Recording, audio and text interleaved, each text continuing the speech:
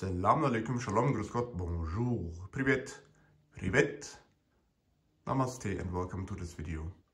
And dobardan, of course, I forgot that. Now, I promised a lovely guy from the Ukraine to pronounce it um, in for for in the Russian language once and in the Ukrainian language once. So I said privet and privet so hello to Leo. I bought a bass trap from him, uh, a very good one in my opinion, and uh, he told me about this pronunci pronunciation thing. And um, yes, so in this video I will talk about the differences of the Totem Acoustic Sky on the left and the ELAC Vela 403 with the Jet 5 tweeter, the beautiful sounding Jet 5 tweeter on the right. The, the new one, the Jet 6 or the new Vela is a bit more analytical. So um, yeah, that's another story. Now, I will keep one of these two.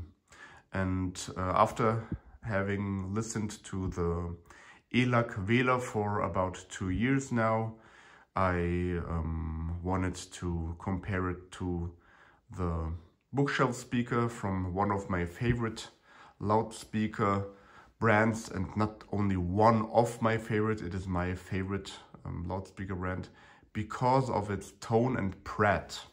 I'm talking about the Totem Sky or Totem Acoustic in general.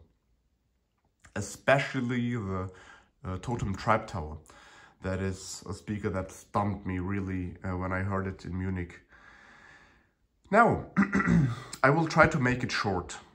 If you want more bass, just in terms of quantity, it's the ELAC Vela. If you want uh, a smoother sound and, and um, long listening sessions without any kind of listening fatigue, it is the ELAC Vela. If you want a more luxurious looking driver and speaker overall, in my opinion, it is the ELAC Vela.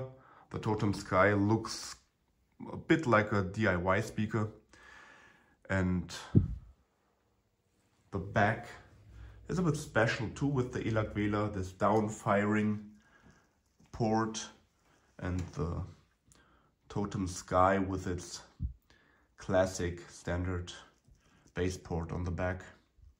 Both have four binding posts for high frequencies for the for the tweeter and two for the woofer. Now, that's it. These aspects uh, are are better, or just in my opinion, in my experience, um, sometimes just not not better, but maybe just more. For example, the, the bass in terms of bass quantity. Now let's talk about sound quality. And um, again, in my opinion, the Totem Sky sounds better. Now, I know it is always hard to use that word better, but it is, it is my opinion, it is my taste the the Totem Sky, I will make a video um, on that one. So please watch that one to understand what I mean when I say PRaT. I will give you some sound demos um, with which the, the Totem really show what they can. Uh, the, the mid-range and the bass is quicker.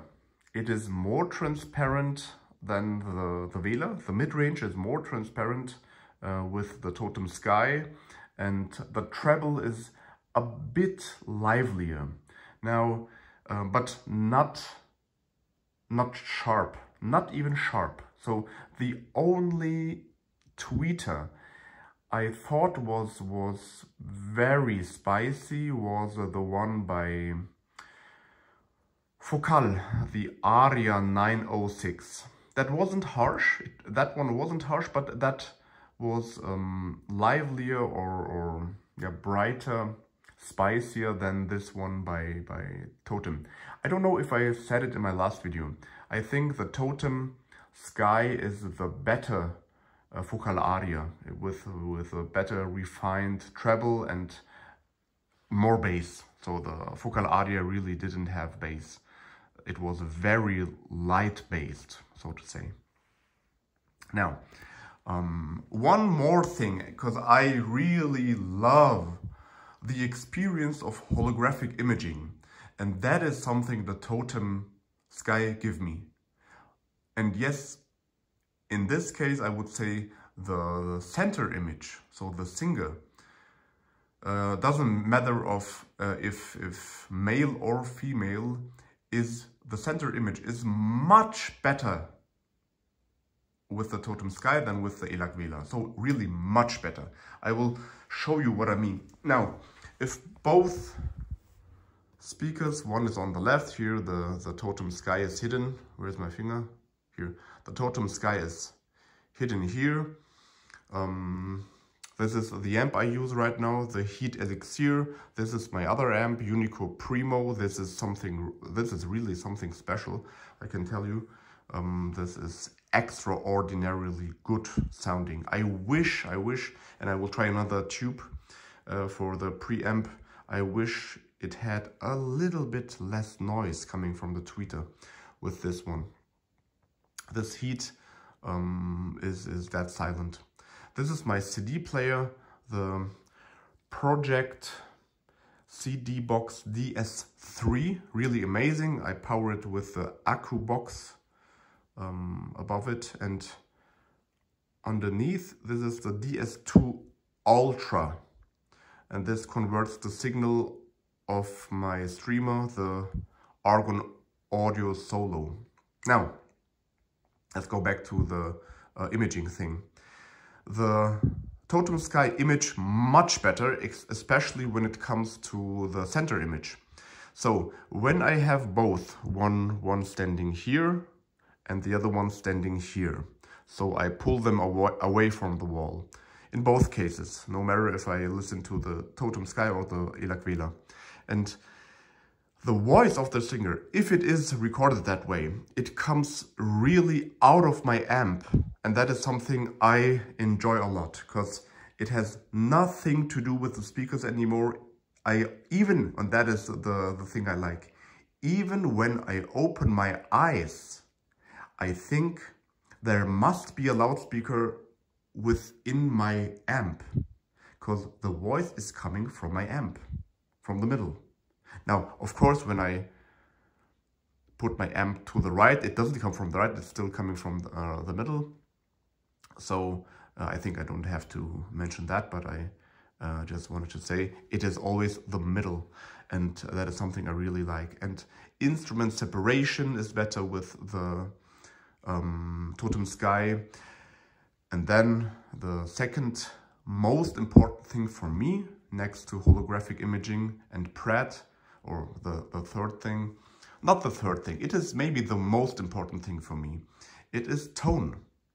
And the Totem Sky or Totem speakers in general are tonally so natural, so organic and, and beautifully saturated. I really enjoy that a lot because every instrument really sounds like this instrument. And um, I've worked for 15 years in, in theaters and and and uh, concert halls and so on. And I've heard so many live bands and so on. And this one, it really, may, and especially with the with the Heed and the Unico Primo, this, the Totem Sky, sounds so natural. It is amazing. Not only the instruments, voices too. So if you watch films and, and hear voices of, of humans or of animals, it is, it is so natural. I really enjoy that. To get the best out of uh, the bass performance of the, of the Totem Sky, in my, in my room and with my gear, I had to turn up the volume just a bit.